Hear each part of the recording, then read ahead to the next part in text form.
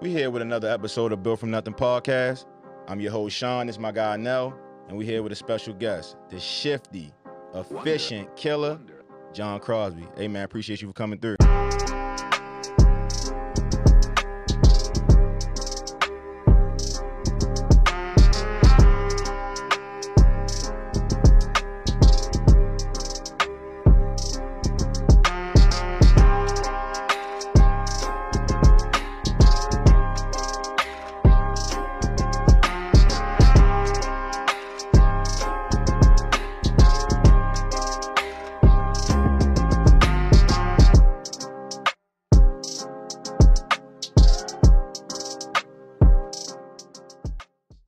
Appreciate you having me, bro, for sure. I'm glad you came on this platform to tell your story. Thank you, bro, for sure. But yeah, I'm definitely shout out to you though, for sure, for doing this. Um, let's just let's go straight to high school, man. I ain't even know you was at City. How you get from City to Poly? So I got accepted to City and not Poly. So Summer Bridge come around, I still ain't get that acceptance letter from Poly. So I'm like, damn, I, I ain't going to Dunbar. I was like, it ain't, I ain't going to Dunbar. And I really, I ain't gonna lie, bro. I really wanted to go to Doug. I really wanted to go to Douglas. My mother was like, Shit. you ain't going to Douglas. So, hey, so it was like, damn, I had to go to City. so right after that, you ended up transferring. Yeah, so even with that going on, you know, Sam Brand was trying to get the coach at Poly. Mhm. So he ain't even get it till the day before school started. Crazy. So he called me the day before school started. But I'm already got uniform. Oh, we ain't had uniform at City, but I'm already locked in with City. So I'm like, damn, it's kind of late though, Sam. It's gonna be hard to pitch this to my mother. Like, Mhm. He like, nah, man, just go ahead. He was like, go ahead, man, just go to um City. I'm gonna keep in touch with you, but I, I wish you the best. Right after that, you was a part of Sam Brand team, and take me through those three years. I ain't gonna lie. The thing I could say about when I got to Poly, bro, it was like everything was a celebration. Like every game we won, like even we beat Forest Park my first varsity game when I got there, bro. We celebrated in the locker room like it was a championship game, cause they never beat Forest Park before ever in history. Yeah. So it was like every day, bro. It was like we was breaking history every game. So Mhm. my first year, it was like it was like a hot. Like we was just happy to win the games. You feel me? Till that after that first year, we get in the gym. We like, bro, we trying to win a championship. Like, Yeah. uh, we ain't just trying to keep beating teams and losing. Nah, we trying to really do a championship. We trying to get a city championship or a state championship. So that was our goal going into the second year. But so matter of fact, my second year we made it to Comcast. Mm. So that was big for the whole school. We had, you feel me? We made it to Comcast. First time in history ever making it out of the region. Like That's tough. so like, bro, I'm like it was just it was like a movie, bro. Like looking back at it, like everything was like it was the championship game every time Mhm. we played somebody. And then my sophomore year, we knocked off killing them. They was number one in the state. when your coach came Yeah. and he changed everything. Talk a little bit about being a part of that foundation because after that, they continue to just become a powerhouse at that point. Yeah, he came with the blueprint though for sure, cause Sam already was coming from Morgan, and he Right. was uh assistant up there with Bowes. Mhm. So he came with a lot of that like college, like whole routine of college, like lifting weights, Yeah. getting yeah. conditioning. Like he was doing that in high school for us. So like in the off season, like how Tree had Lake doing, we Mhm. ran cross country. So So what was recruiting like? What was recruiting like? Because I know you ended up going to prep school. I was locked in with George Mason straight out of high school. I Mhm. was gonna go to George Mason play for Paul Paul Hewitt. Mm-hmm. That was my guy. Like I ain't gonna lie. So I, I definitely was sold on George Mason. I was gonna commit, but um, what? It, so basically in the city, this it's changed now. But Poly got you know we got the engineering program. Right. So you don't qualify to at the senior year. That scare a lot of college coaches off because usually. In any other situation, you would qualify going into your senior year where you could just coast and get ready for college. Like a lot of dudes do, they just take art, whatever. Just you feel me? You just taking little gen ed classes to get ready. Right. But for me, I still had algebra two with trig. I still had geometry. So a lot of dudes look like, oh, that's a little scary. Like, Mm-hmm. but they not looking into the situation. Like, bro, he not qualifying not because he don't got grades. He getting all A's and B's, but he not gonna qualify to his senior year regardless. He Right. get all A's and not qualify yet until your senior year. So, um, George Mason started really hitting me up. Like all the schools that was really on me heavy started really hitting me up, and it's crazy because one of the coaches, one of the coaches that was recruiting me, tried to get me to transfer to St. Francis Mm, because they already like, yo, you go to St. Francis, like they gonna give you the grades. right. So I'm like, bro, I'm not about to transfer just to get grades. Like I'm gonna get the grades here. Right, right, right, right. So man, Sam just sat down like, bro, like, what you want to do? And I was like, I mean, I could just go to school, but I mean, I could just take a year of prep too, like, and so that's what I did. I went to uh, it was either Brewster or New Hampton, Gotcha. and you know, Will and um already had went to With Brewster, Brewster, so right. I was kind of familiar with that. But the coach at New Hampton, man, him just had a good relationship. He kept up with me, like all through my senior years. So I was like, yeah, I'm about to just go to New Hampton. And University of Dayton, you feel me? Uh, tell me how you got there, and just just walk me through those three years that you was there, and why you why you end up leaving. Before I even got there though, bro, this this a crazy story because when I was at New Hampton, I always wanted to go to Maryland. Like yeah, yeah, I seen I ain't that. even gonna lie. Like I I, that. always wanted to go to Maryland, bro. So even at Poly, I was hyped about having Maryland around. Just hmm and I went to all the Nick games. Nick Faust was up there. So I Yeah. was like, bro, I ain't gonna lie, this this for me. Right, right, right. Not too far from home. Like I was so I'm like, bro, I gotta work hard so I can get Maryland offer. hmm So when I get to New Hampton, bro, craziest thing I get offered by Maryland right after I'm about to pull the trigger to commit to Dayton, bro. It's Mhm. like I'm telling everybody like I'm sold on Dayton, bro. Like this Friday, I think it's I'm gonna go ahead and commit. So I go on a visit the week before or something like that. And I, I ain't, you know, I ain't gonna commit on a visit. That was the whole rule, like don't commit on a visit. Mhm. So I'm on a visit. I'm like, I'm sold though, bro. I ain't gonna lie. I'm calling home. Like, look, I ain't gonna, this, this for me. Like, hmm bro, I get home after my visit. Bino, the assistant coach at Maryland, Mhm. on a flight from Dayton to Baltimore with me. That's crazy. Bro, I walk past him. He like, Cross, Cross, what's up, boy? Where you going? Home. Like, I ain't even tell him I was on a visit to uh, Day- Dayton. Mhm. So he walked to the back of the plane like, yo, you just came on a visit to Maryland? I mean, you just came on a visit to um Dayton? I'm like, yeah, they they recruit. so, bro, I get out the flight, bro. My phone, they blew my phone up, bro. Like they did the Maryland treatment. Like, sent me an article, um, of them offering me. I was in the ESPN that day talking about I was going on a visit, like all that. Like they just, you know what I'm saying? It was crazy. I'm getting off the plane, like, I gotta entertain it though. I, I got to. So right. I think we did a like shotgun visit where I came up like on a Wednesday or something like that. And I was like, damn, bro. It's a little too late though. Mhm. Like, I was like, this is everything I wanted. Like I wanted to go to Maryland, but it was like, it just ain't make sense. So Right. Right. I ended up picking Dayton. Cause it just was the culture, like the coaching staff, like everything. It just felt like home. And I took my mother up there with me too. She loved it too, loved Okay. all the players, like so it was like, dang, bro. It just it was a little it was like probably like a couple weeks too late. hmm I ain't gonna. I would have went to Maryland if they'd have offered me a week earlier. I'd have. I'd, I'm going to Maryland. Why you end up departing there? I learned a lot about the business of basketball hmm at Dayton, and but when I first got there, I was just like I was just happy to be there. Honestly, like my freshman year, bro. Like I had um. I had a top 10 ESPN play for like a pass I made against Alabama, and we beat them by like 15. That's tough. But I played like 10, 15 minutes my freshman year. Mhm. And that was just, that was cool with me. You know what I'm saying? Right. I was on a winning team. We won the A10 that year.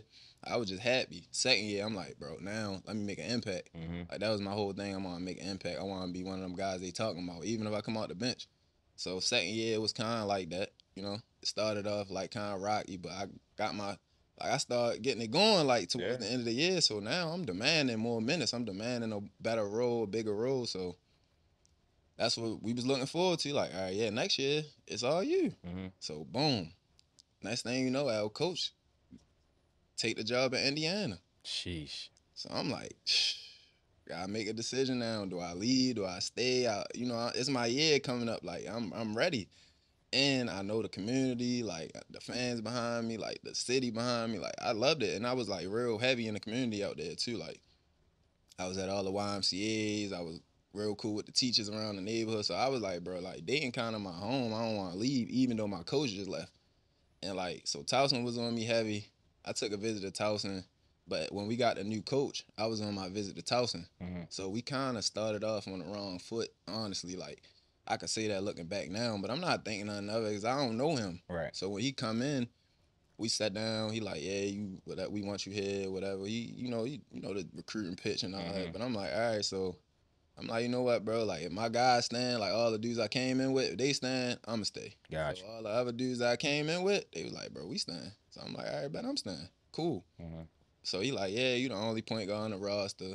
Da, da, da, gave me the whole recruiting spill. You know how they Yeah, do. So yeah. I'm like, all right, cool. Like I don't really care, bro. Like as long as you give me opportunity, I'm gonna work hard, do everything cool, whatever. I'm gonna push myself. Mhm. So the off season, bro, I'm, you know, being a leader, whatever, you know, finishing first in sprints, all that kind of stuff, just so I could, you know, build a rapport with him and the coaching staff, cause they all new and they don't even know me. So, boom, season start, bro. I, I'm killing. Like it's everything I, I wish for. I'm starting. Um, we still good. Like, of course, we on ESPN. We got games coming up. So my first game, we play Auburn, bro.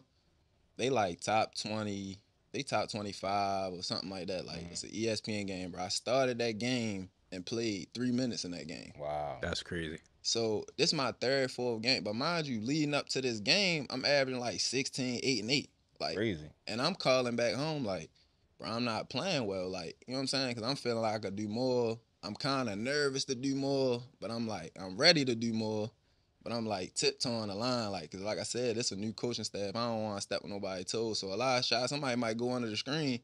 I might not. I'm. I'm just like, all right, I ain't gonna shoot it. But I know me, like anybody going to really wanna screen, do, that's yeah. what I really want to do. But I'm Right. holding back a little bit, but still killing though. Right. You know what I'm saying? So call back home. They like Crosby, come on, you look good out there, but it ain't you. Like mm-hmm. I need to see you. Like so, I'm on the edge. Like be me or like conform to what they want.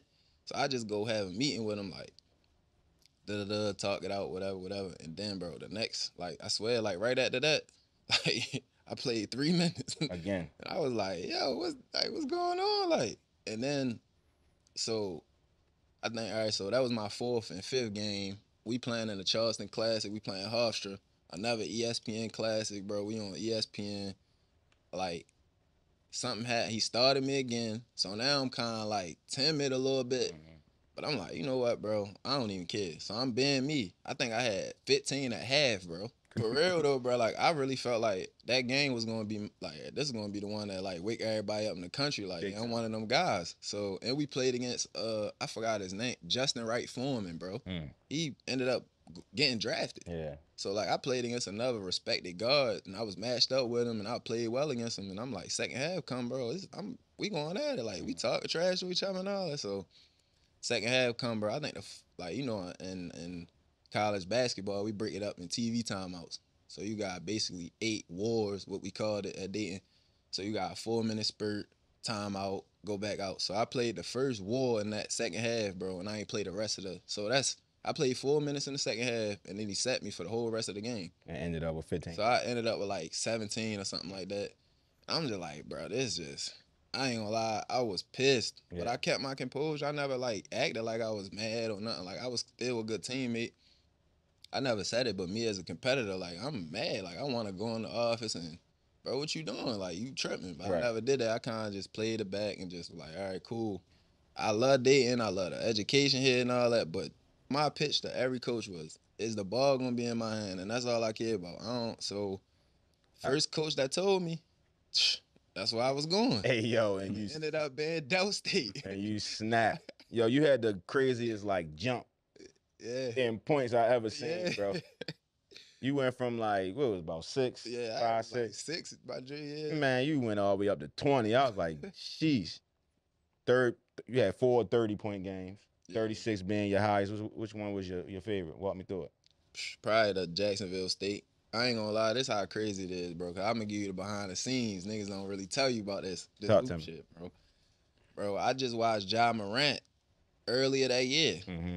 And I'm like, bro, I like yo, but I like me. You Right, feel me? That's right. what type bag I was in at that time. I'm like Mhm. seeing who they talking about in the draft and stuff. So, bro, I'm watching him, and he played in the OVC, and he played Jacksonville State early that year, and he killed them. He did, he did great, but they hyped his performance on Mhm. what he did against them because they got other guards there. They got junior and senior guards. They a veteran team. They good defensively. They got length. They got us. So I watched what they said on his like scouting report. Like, yeah, Ja Morant did this against a you know a, a formidable opponent. And mind you, Jacksonville State won the league the year before. Tough.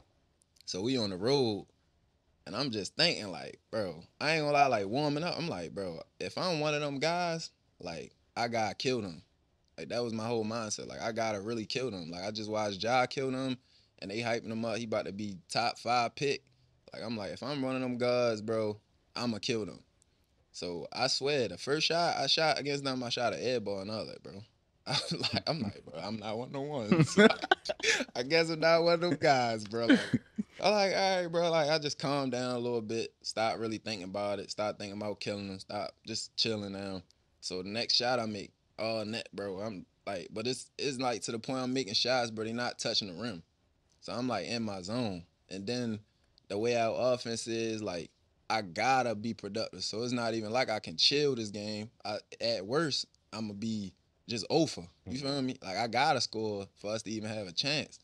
So, bro, I I just was in my bag, like for real. Like everything was going that night. And like the way they was guarding me, like everything, it was more like a pro style defense. Yeah. So it wasn't no rinky thing. Like some of the teams I was playing, bro, I ain't gonna lie, they was doing box-and-one on me. Like it's like, bro, we in college, bro. Like you, you know what I'm saying? You you I get it, but it's like some games you might see they might have two they might just double team you at half court, bro, in the MEAC or some teams you play against. You be like, bro, I'm trying to play like V Tech where they gonna have an actual footer come out here and or they gonna drop, you know, um, they gonna try either um they call it uh man, what they call down. They want down the screen. Like I'm Okay. hearing the coverages so I can I know as a basketball React. yeah, I know the reaction. In the MEAC though, bro, they might say spur or you might hear spur and you be like, what the next thing you know, you see them go zone and then boxing on you. You be like, bro, I, you can't even prepare for nothing like that. Like, but you know, V Tech, all the high level schools, like,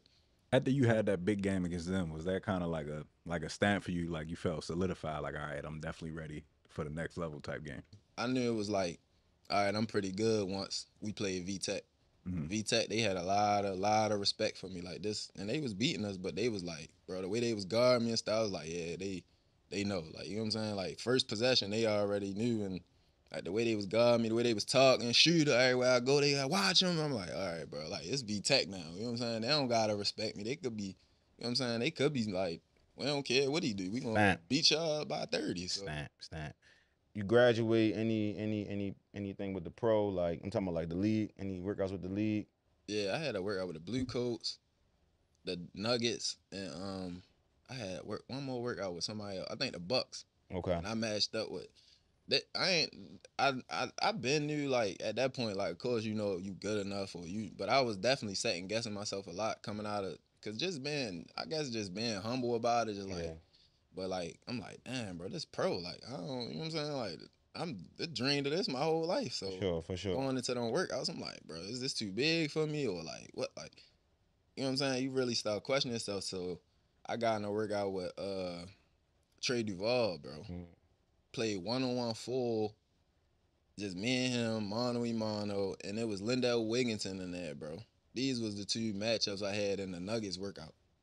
And I'm like, bro, he, he was number one guy in the country at one point. Like, this, like I matched up with some tough, really, these, these some big fish. So bro, I killed him, bro. Killed, like, killed him to the point where I went home thinking, like, yeah, shit, they might take me in the draft. they might call my name, boy. I actually watched the draft. Like, I was like, yeah, they might, bro. The way I looked in the workouts, bro, they might call my name, like, for real. yeah, that's tough. But yo, just just just tell us, bro, uh somebody that you that you that you matched up with that you killed. I ain't even gonna say killed, but my I'm gonna say Jalen Brunson. Mm. Man, like That's tough. 'cause yeah, he like Jalen Brunson, bro. I ain't gonna, we played Mac Urban Fire when I played with Melo in Vegas. And we was getting coached by all the NBA. So Jabari Parker was on their sideline, Mhm. Melo was on the outside line. We played uh like a couple other NBA dudes that they got their own teams. And it was eight teams called the Great Eight, bro. We played against Jalen Brunson. Uh, we went at it, Went at it. To the point where we had the free throw line. He like, bro, where you going to CP3 camp? Like, I, like, He was I trying to get some Yeah, he was really. Yeah, he like, yo, you going to CP3 camp, bro? I see you there. Like, we really. So uh, we got a lot of respect for each other too. Like, even I seen him again, and he remembered me too. I was like, man, that's crazy. So tough. Yeah, I, I say Jalen Brunson for sure. We definitely probably had forty apiece, bro. We was going at it, Going at it. going at it. Well, John, man, we, we appreciate you for coming through, man. Look, you're a cold-blooded assassin, bro. And uh, man, keep you you you overseas, you killing overseas. I seen you had a 25 triple double the other day. You feel me? But um, I appreciate you for coming through, man. Yeah, no problem, bro. Anytime. All right, man. Look, that's another episode of Dope from Nothing. We get up with y'all later.